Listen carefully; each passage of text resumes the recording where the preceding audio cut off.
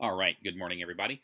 Um, today we're going to go over a couple things. I want to first go over the rubric for the um, writing the argumentative essay, and there's some really important things in here that I really want to stress. Um, there's some changes, those of you who came to the review sessions, um, there's been some changes to the, the test with the modified form, and I want to go over very clearly what you need to do. And then there's a, a short YouTube video I'm going to show you um, that kind of reiterates some of this stuff, um, which I think is, is really, really helpful. Um, we're, we're, then going to finish the lesson one or the unit one review today, so we'll kind of wrap that up. Um, and then we'll do unit two tomorrow, unit three on, on Friday, um, just to make sure that we have everything uh, before your test on Monday. Okay, so what you see here is the rubric for the argumentative essay. And you see here at the top that it says it is a seven point rubric. Um, so this is the maximum number of points that you can earn on this question. And your rubric is going to start with a question. I'm sorry, your, your, your essay is going to start with, with your thesis. And it's really, really critical that you address your thesis in a certain way, because if you don't, there will be points that you are unable to earn if you do not get the thesis correct. So they're going to pose a question. It's going to say something like this. Um, explain which of the three branches of government is most um, um, harmful potentially to the American people. Okay, so let's say they have a question like that. Hey, your thesis is going to start out with, it's going to have to have two pieces of information. Okay, I'm going to say something, for instance, the legislative branch of government is most harmful to the American people. Okay, that addresses the part of the question because, and then I'm going to state the reasons why I believe it's the most harmful to the American people. If you do not have both the answer to their question, which one you believe is most harmful, and the because part that explains why you believe it is, you will not earn the first point for your thesis, and you cannot earn subsequent points down here below when we get to the pieces of evidence. So basically, out of the seven point question, if your thesis is not, if you don't earn that thesis point, the most points you can earn on this question would be three, okay, out of seven. So it's very critical that you spell out that thesis and you answer it very precisely. Now, you can see here under decision rules and scoring notes, it says responses that do not earn the point um, is if you simply just restate their prompt or if your thesis does not make a claim that responds to the prompt. So if you don't directly answer the question, you're not going to get that point. Okay. Responses that earn the point, the claim or thesis responds to the prompt rather than restating or rephrasing the prompt, and it establishes a line of reasoning. Why I believe that this is going to be the, the, the branch of government that is most harmful to the American people. So you need both the what you think it is and then the why. Okay, now in your paragraphs below, you're going to go into the reasoning through the documents, but you have to at first have that evidence that you need to be able to lay out there. Now, row B um, here goes to your first piece of evidence. And they're going to offer you a couple different documents, and we'll see this in the video I'm going to show you here in a second, that you can kind of walk through. And you have to pick one of those nine required documents that, that I've talked about the last two days to back up your point. And you can see here that on this first piece of evidence, you can earn anywhere between zero and four points. Okay, now a zero point um, paper is something that you can see here responses that do not earn points do not provide any accurate evidence, so that document that you've picked doesn't back up whatever your claim happens to be, or the evidence that you picked is not relevant to the topic. So you need to make sure that what you're selecting fits the argument that you're trying to make. So if I'm trying to say that Congress is the most dangerous um, of the branches of government, I might want to pull something from the Anti Federalist papers that may argue about um, the dangers of having a strong centralized government and, and, and talking about the powers of Congress eh, or, or something like that, uh, where I, I, can very clearly make that connection between those two pieces. Now, um, historically, um, this next section, this was only a three-point section before because you you used to have to have to have the rebuttal, and they've taken out the rebuttal, so you don't have to make the other side's argument anymore uh, for this year's test, like you would have if you if this was the regular test. So this used to be worth um, anywhere between zero and three points. Now it's worth between zero and four. Now you can see here if you want to earn one point, hey, you're going to provide one example of evidence that is relevant to the topic. Okay. Um, and it's that piece of evidence you provide may or may not necessarily prove your thesis, but it is at least relevant. If you do that, okay, you're going to get one point. Okay, to get two points, you're going to provide two examples of evidence that are relevant to the topic. And again, those two pieces of evidence may not necessarily back up your thesis, but if you provide two things that are at least relevant um, to the topic, then you can earn up to two points there. Now, what's going to earn you three or four points here? To get three points, it says you must provide two, two pieces of specific evidence that are relevant to the topic. One of those pieces of evidence must support the claim or thesis. Okay. To get four points, okay, one of those pieces of evidence must come from a foundational document listed in the prompt. The other piece of evidence can come from a different foundational document or knowledge of course content, but both of those must back up your your claim or thesis. So basically here, if you make a thesis statement, okay, and then you can pull two pieces of information that are relevant sources that back up what your thesis is, you can earn the full four points here. Now, again, you only have 25 minutes to write, but the more you write, the more detailed you are in what you are saying, the better off you're going to be. This is a chance for you to show them what you've learned this year.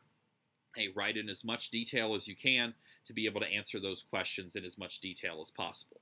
Now, part C is the reasoning, okay? So it's not just that I've presented the evidence, okay? This is where I'm going to provide reasoning. I'm going to explain the relationship between the evidence that I pre presented and the claim or thesis. If I can do that for one of my pieces of evidence, I can get an additional point here. If I can do that for both of my pieces of evidence, then I can get two points. So that's how I would I would earn the seven points that we have um, for this question. Now, you do not have to do the rebuttal. Okay, in past years, it would be something where they would say like other people might say that the the executive branch is the most dangerous because um, you don't have to do that anymore. Okay, so whatever your argument is going to be, you need to back that up with a couple pieces of information. So this is a seven point question. Okay, if your thesis is well written, okay, that's an easy point to earn there. And then you just have to find documents or pieces of evidence that link to that. Now, one of the pieces of evidence must be from those nine required documents, and they will tell you that on the on the question. Now, the example he's going to go over in this video is from last year, um, and this does a pretty good job of, of, of seeing an example of, of how they would do this. Now, in this video, he's going to ask you to pause the video and to read the question. I would like you to actually do that. So just read the question before he starts going over it. Some of you have come to the review sessions have seen this question already, uh, but read the question and see how you would respond to this. Okay, particularly given the knowledge of the of the pieces of information that you have. So this video is short; it's about it's about five six minutes. Um, I'm just going to show you this really quickly. Um, this gives you uh, kind of an overview of how to write this essay, and I think he does a really good job at this. So um, we'll go through the rest of the review here in just a second. Maybe you already heard the news that 60% of your coronavirus AP Gov score is going to be based off of the argument essay alone. I know that sounds terrifying, but trust me, when you finish watching this video, you're going to feel much, much better about this insane plot twist. Now, you're only going to have 25 minutes to write this version of the argument essay, but here's the good news. They've made it easier to write and easier to earn points. So let's get right to the details. Here's the 2019 released argument essay. I deleted the alternative perspective stuff since it's not on this year's exam anyway. I encourage you to pause the video for a moment to read the entirety of this prompt. Hit play when you finish. Okay, welcome back. So the first thing you have to do is write a thesis statement. You do not need to write an intro. You don't need to do anything besides what I tell you to do in this video. Your first sentence should be your thesis statement. There are two parts to your thesis statement. First is to write the claim or thesis statement that responds to the prompt. So in this case, saying whether expanded powers of national government either benefits or hinders policymaking. That's first you must also establish a line of reasoning. So let's see what that looks like. Notice the thesis statement. The expanding powers of the national government benefits policymaking overall. So that's the first part of the claim. And the line of reasoning, because it prevents delays such as states making conflicting laws. So this statement earns the point because it both makes the claim that expanded national government power benefits policymaking and it also establishes the line of reasoning by using the word because. I want you to write your thesis statement just like that. This point is by far the most important part of the essay. In fact, there are four other points on this FRQ that you cannot receive if you don't earn the thesis point. Okay, so that's your first paragraph. Even if it's just one sentence, I want it to be its own standalone paragraph. Now you have to write the rest of the essay. You need two pieces of evidence, and at least one piece of evidence has to be from one of the documents on the list. Make it as easy as possible for the reader to find your points. So make the first piece of evidence a new paragraph. Begin by identifying which document your evidence is coming from, and then identify the evidence that you're using. That's the first point. Describe the evidence and show that it's relevant to your thesis statement, and finally explain how your evidence supports your thesis. This is where you'll do your typical explain thing. Elaborate, provide evidence, or give an example, and make sure to close the loop. Now remember that every word in the prompt matters. So in this example, you're not explaining why expanded national power is good or bad. You're explaining how it helps or hinders policymaking. So your explanation needs to focus on how policymaking specifically is affected. This evidence paragraph is worth three points. Let's take a look at a sample answer that earned all the possible points. The first point is earned for providing one piece of evidence that is relevant to the prompt. The first sentence identifies that under the Articles, the national government was weaker than state governments. That is an accurate piece of evidence, relevant to the prompt, and therefore earns one point. The second point is earned for providing a piece of evidence that is specific and relevant and supports your thesis. The next couple of sentences point out that under the Articles, the federal government lacked the ability to tax and therefore couldn't afford a standing army, and was then unable to put down Shays' rebellion. Now, you might notice that this isn't particularly well written, nor is it even totally accurate, but they did what they had to do to earn the second point, and that's really all that matters. The third point is earned for using reasoning to explain how or why the evidence supports the thesis. This is the toughest point to earn, so you gotta do your explain thing. This student argues that the articles provide evidence that increased federal power is beneficial, and here comes the key word, because the lack of that power caused rebellions within the country that weren't put down efficiently due to the weak federal government. If the national government had been stronger, the student claims that Shays' rebellion would have been stopped more quickly. This successfully explains the relationship between the evidence that had been previously described and the thesis, earning the third point in this paragraph. So that's paragraph 2. Paragraph 3, do it all again with your second piece of evidence. It's the exact same process. You can't use the same document as you used in your first piece of evidence, but you can use any document, listed or unlisted, Supreme Court cases, or anything else from your knowledge of the entire course from AP Government. So you do it again. Same idea. Identify where your evidence is coming from, describe the evidence, show how it's relevant, and then explain how that piece of evidence supports your thesis statement. So to recap, it's three paragraphs. Your first paragraph is the thesis statement. That's where you make your claim and establish a line of reasoning. That's worth one point. The second paragraph is your first piece of evidence. It's where you identify, describe, and explain how your evidence supports your thesis statement. That's worth three points. The third paragraph is the same as the second paragraph, just a new piece of evidence. Again, identify, describe, and explain how that piece of evidence supports your thesis statement. That's another three points. So that's seven points total, and that's it. You're all done. See? And you thought this was going to be tough. That's it.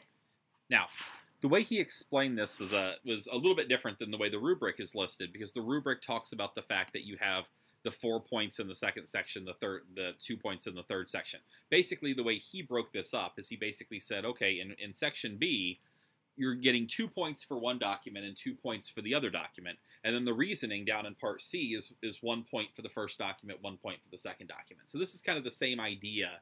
Um, he just presents it a little bit differently. But what you can see here is that you really only need three sent three paragraphs, and the first paragraph should be your thesis, and that could really be one sentence if you if you explain it well. So it should, it should be a fairly lengthy sentence, not something where you're writing a three-word writing prompt or something like that. Um, but you want to make sure that that's detailed using the word because and you heard him say repeatedly there make sure you close the loop if you start to if you start to say something like, okay, Shays' rebellion showed the weaknesses of, of the federal government under the Articles of Confederation, then you kind of close that loop. Well, why did that matter?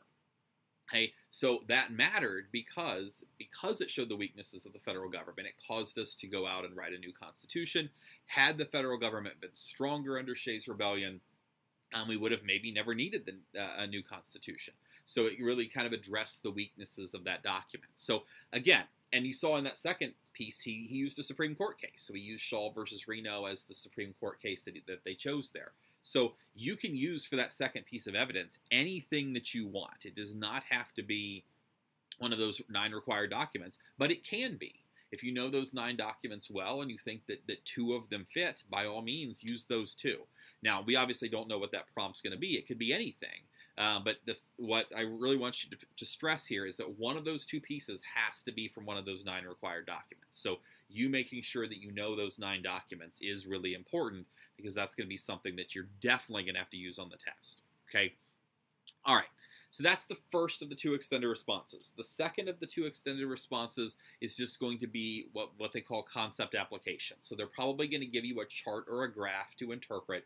This will be something that you can't just Google and look up the answer. They're going to ask you to interpret something of that for that chart or graph, why it's important, and then they're probably going to ask you a couple of follow-up questions to that about how that, whatever that topic is, how that links to other information in the course. And I'll go I'll go over an example of one of those tomorrow for you, um, so you so that you can see that. But again, I really want to stress here. This is 25 minutes. Okay, this is I, I know that's a fairly short amount of time. It may seem like it's a lot of time, but if you're having to spend a lot of that 25 minutes looking up what these documents are, and I don't know how we're gonna how how to address this or anything like that, then you're going to be wasting a lot of that time. The more detail that you can give them, the better. Okay, so just write make sure that you you make connections link it back to the thesis. Go why does this prove my point that this is um, superior to whatever the other thing happens to be or, or however they're going to address this question okay? So i want to make sure we went through that in some detail. Um, this rubric is out on the website. All i did is i googled um, ap government uh, 2020 rubric uh, that took you right to this page. So uh, you, you, can all you can look this up online. This might be something if you want to have this printed out as well next to your um, next to your computer when you, um, when you, when you do your typing. Um, that that will probably be good. I did want to address one other thing here real quick um, regarding some information I got from, from the district today. Um, if you are using um, Google Chrome uh, for your for your writing for the for the actual test, Google Chrome, it appears, may have the Grammarly um, app attached to it, so it may not open for your test. So uh, I, I, remember I in one of the previous videos I suggested possibly using multiple web browsers. You can probably get it so that you could have different tabs open at the same time. If you're using everything in Safari and you just separate the tabs out um, onto separate pages and then split screen it, that, that might be your best bet so you can still see the question and the clock while you're writing in your Google Doc. Um, if you're using Google Chrome, there's a chance that may not load. Now, nobody seemed to have a problem with that with the demo, so it may not be be that way on our iPads. But I had a couple of uh, teachers today mention that the Grammarly app in Google Chrome is one of the add-ons that's that's available. Um, so I don't know if that's going to be problematic or not. But I did want to address that just in case um, anybody has problems opening opening their opening their test. That if you go directly into Safari, you will not have any issues with that. Okay. All right. I'm going to go very briefly through the rest of Unit 1 real quick just to kind of touch on some things we left off on Topic 1.4. Uh, topic 1.5 talked about ratification of the Constitution, some very important things that you need to make sure that you that you know. Um, it says here, learning objective, explain the ongoing impact of political negotiation and compromise at the Constitutional Convention on the development of our system. As you can recall, they didn't agree on anything. So big states, small states were fighting, North and South fighting over slavery. Um, all these things, nothing was set in stone. So um, the entire Constitution was based upon a series of compromises. And on the right side here, it goes over four important ones of those that you need to make sure you know. So the Great Compromise or the Connecticut Compromise was kind of this mushed together version of the Virginia plan and the New Jersey plan, which was our big state and our small state plans for what the what the government was going to look like. So under the the Connecticut Compromise or the Great Compromise is what gave us our bicameral legislature one house based on population, one house based on equality that came from from that compromise, um, as well as a series of other things that that were laid out in terms of what the executive branch would look like, the judicial branch would look like. So all of that comes through the Great Compromise. And you may want to take take a look back at that. It's in the Chapter 2 PowerPoint. Um, if you don't remember that, all of that's out on, on the website that you can review. The Electoral College was a compromise, and this was a compromise between who gets to pick who the president is. And we kind of had this big debate that was firing between how much do we trust the American people? Do we trust them to elect our president through a popular vote, a direct vote of the people, or do we think that the legislature should be the ones who picks the president? So the Electoral College was kind of a hybrid version of both of those, in that under the Electoral College, the people vote, but you're voting for electors to go to the Electoral College and make decisions for you. Um, so again, it's not a direct election. It's not direct direct democracy. Um, it's this idea of representative democracy. You're letting people go and represent you at the Electoral College and make those decisions. The Three Fifths Compromise um, dealt with slavery. Um, remember, the Southern states wanted slaves counted as um, as citizens for the purposes of representation in the House of Representatives. The Northern states uh, did not approve of that. Um, what they ended up with was the three fifths compromise, whereas a slave would count for three fifths of a person um, as it re- related to representation in the House of Representatives. So uh, that was another one of the compromises that they made there. They also compromised on the importation of slaves. Uh, we didn't really talk about that a whole lot, but there was a lot of debate about should we ban the slave trade, and they kicked the can down the road there. They basically said, we'll address this later. We're not going to uh, really address it now. Uh, second section here under C2, it says debates about self-government during the drafting of the Constitution necessitated the drafting of an amendment process, which was detailed in Article 5, as they realized that we're going to have to amend this document at some point. It's not going to be perfect. Um, we need to make sure that we amend this at some point. So Article 5 of the Constitution lays out how you do that. So remember, Article 5, it takes a two-thirds vote in both houses of Congress or a proposal from two-thirds of the state le legislatures to amend the Constitution. Once that has passed, it then takes three quarters of the states to ratify that change. So, again, or if you remember under the Articles of Confederation, it took every single colony to amend the Articles of Confederation. Here, it still takes a lot. It's still hard to do it, but it takes two thirds to propose it and then three quarters to actually ratify in terms of the states. Now, those compromises, as well as the promise of a Bill of Rights, were necessary to secure ratification because there were a lot of things we knew if we tried to force um, the banning of slavery um, into the Constitution, the southern states were never going to approve it. It never would have got adopted. We knew that if we didn't um, put something in there in terms of the Bill of Rights, that the Anti Federalists were never going to support the document. So there were all sorts of compromises that were made, and the whole the whole idea here was that we were trying to fix the weaknesses in the articles, um, and we wanted to create this system of limited government. We wanted to make sure that government had power, but not too much power. But we wanted to make sure that they were able to do what they needed to do to address some of the things that they couldn't do under the Articles of Confederation, such as tax or raise an army or things like that. So all of that was critical in terms of negotiation. Now, under essential knowledge, it also talks about the fact that the debate over the role of central government and the powers of states and the rights of individuals remains um, an issue today. This is something that we talk about all of these things. Post 9 11, we had all of our government surveillance. So, what are government powers that they should be able to take over us? Um, and what is too far? Where is the line um, that, that's drawn there? We also have the debate uh, as it relates to the federal government and ed- education. Education is technically a police power. We know that the federal government has a big say in, in education because they have money, and the states who have asked for help in the past take that money and, in the process, forfeit some of their um, constitutional uh, jobs that they're supposed to be doing. So those are all things that are in the Constitution. So it's the articles, it's the amendments. So if you're asked a question and you can think, well, I think this ties to this article, you can cite the Constitution. So that would be the document that you would cite um, if you need to go that route. So that would be a required foundational document that you could use if that was your extended response.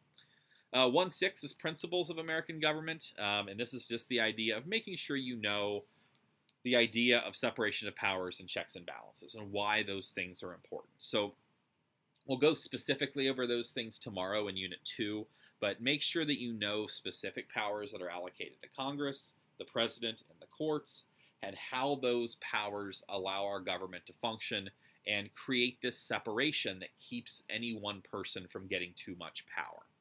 Um, Federalist 51 um, is obviously the key document there. Federalist 51 explains the constitutional provisions of checks and balances. Um, you did a, an assignment over that at the beginning of the year. If you want to revisit that, okay, analytical analytical reading 51 right here over on the left side. Um, you can click on that. Hey, you also need to know um, this the second section here. It says explain the implications of those on the American political system. Um, and really, the idea here, if you look down in this section right here, is it talks about impeachment, removal from offices of public officials who have abused their power, reflect the purpose of checks and balances. When Richard Nixon was was going to get impeached before he resigned, that was that was what the framers had intended. You had a president who had abused their power, and Congress was stepping in to hold that president accountable for that through the process of impeachment. So when you have that situation occur, the, the framers intended for Congress to be able to step in and to remove the president from office. Similarly, when Congress does something that they pass a law that, that violates the Constitution, we expect the Supreme Court to step in and rule that unconstitutional. Um, that's something that the court should be able to do as, as their role in checks and balances. So we have all of those these pieces, and make make sure that you know why checks and balances are so important um, to the way our government functions. And we'll go over some specifics there. But but back in chapter chapters two and three, particularly when we introduced federalism in chapter three, we looked at specific powers of the federal government versus the states, and we looked at specific powers of each of the branches of government in chapters 13, 14, and 16. So those were the big uh, big chapters on branches of government. All that stuff should be in tab two of your binder. That's all unit two stuff, which we'll review a little bit tomorrow. Uh, but that all kind of links back to this idea of checks and balances, which was introduced in unit one. Uh, seven talks about the relationship between the state and federal government. Obviously, the key thing here is the 10th Amendment.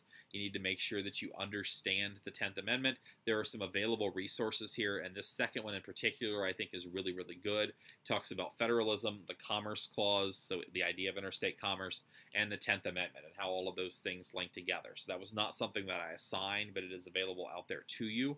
Um, it's out in AP Classroom that you can access. Um, that'll give you some additional work on 10th Amendment stuff if you if you need to review that. Um, says here, uh, learning objective students need to be able to explain how societal needs affect the constitutional allocation of power between the national and state government. So if you look at societal needs, and I think the coronavirus outbreak now is a great a great example of this. What does our country need right now? Well, our country needs jobs. Our country needs tests so we can test people uh, for for the coronavirus. Um, our country needs some sort of um, vaccine um, for for this for this disease. So the thing that if we look at this is what our country needs as a whole. Now, some of those things are state functions. So, obviously, anything related to health, so that would be testing, vaccines, things like that, those are state functions. But we see the federal government having a big role in this, particularly in the vaccine and the funding through um, some of our federal agencies. And, and again, societal needs sometimes influence who does what. And it's not always just as simple as, well, whose power is this according to the Constitution? Sometimes things change and it and makes sure that uh, things happen maybe a little bit differently than they've happened in the past. Now, I really want you to pay attention to this paragraph right here.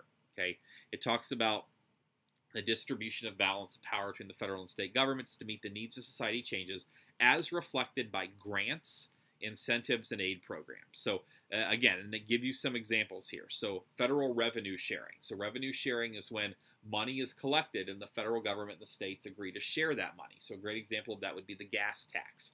So, the federal government collects a tax on gasoline.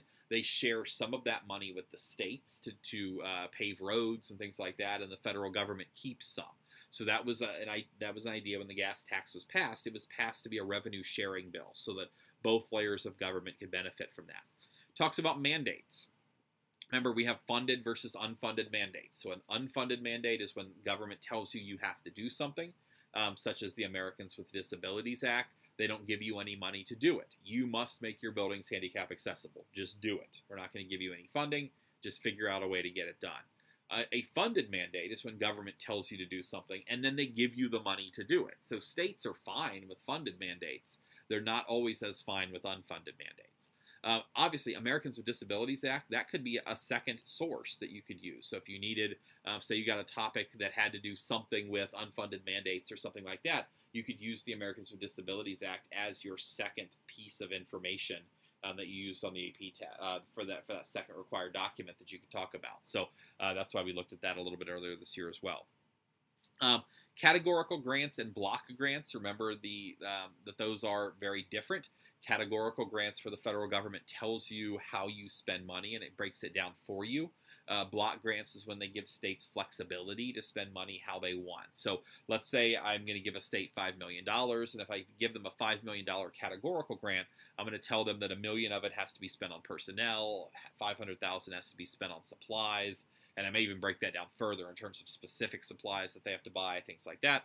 A block grant is here's $5 million, make sure you spend it on education or whatever the case may be. So um, those types of grants are different. So please make sure you know the differences between those types of uh, grants and aid programs. That's obviously very important here. Uh, topic 1.8, constitutional interpretations of federalism, and this is where we get into a couple of our required cases and how things have changed. So um, if you, again, and they have these for all these cases. If you look down here in the corner, it's got links to um, available cases, and I just clicked on the one for um, McCulloch versus Maryland. Obviously, it will take you to AP Classroom where you can sign in, and if you go out there, it's going to give you a, a very specific link um, with information about that document. So if you if there's cases that you don't remember, obviously I did the case review a couple days ago, but if you click on these links on the side of the page here, it will take you down to additional information about that. It'll be required that you log into AP Classroom, uh, but if you do that, you'll be able to access those things. Um, now, also here it talks about the, the key of the 10th and the 14th Amendments um, and the role that those have played in helping define the relationship between the state and federal government. So obviously the 10th Amendment is clear. Um, any powers not listed in the Constitution go to the states. So that's very clearly about the about the relationship between those layers of government. But the 14th Amendment is also key as well. And the 14th Amendment is key because of this idea of the Commerce Clause, and it's key because of the idea of selective incorporation. Um, is that we've selectively incorporated the Bill of Rights to the states. So not only are these things that protect us from the federal government, but they're also things that are going to protect us from the states as well. So, uh, and again, interpretations of different things have changed over time. We talked about the fact that the Second Amendment was just um, incorporated to the states back in 2010. Uh, parts of the Constitution dealing with illegal search and seizure, things like that, were only um, incorporated the states last year, back in 2019. So um, some of these are new. Um, it, it, hasn't been um, in place for a long time. Um, it talks about the necessary and proper clause. Remember, the necessary and proper clause is also called the elastic clause. So that's the clause that allows government to do things beyond what is specifically listed in the Constitution.